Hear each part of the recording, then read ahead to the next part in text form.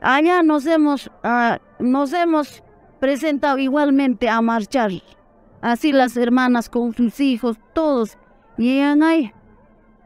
Nos han retenido peor con las bombas, ya arrojaban como si estuviéramos en, en una guerra.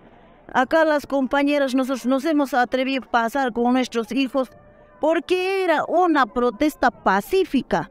Nosotros no hemos ido a una guerra para que nos disparen de esa manera. Somos peruanos.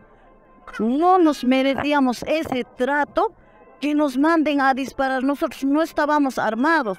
Hemos ido a luchar por nuestros justos derechos, por defender nuestros recursos. Nosotros, si hubiéramos ido a la guerra, hubiéramos ido armados, no hubiéramos llevado a nuestros hijos, pero no era una guerra.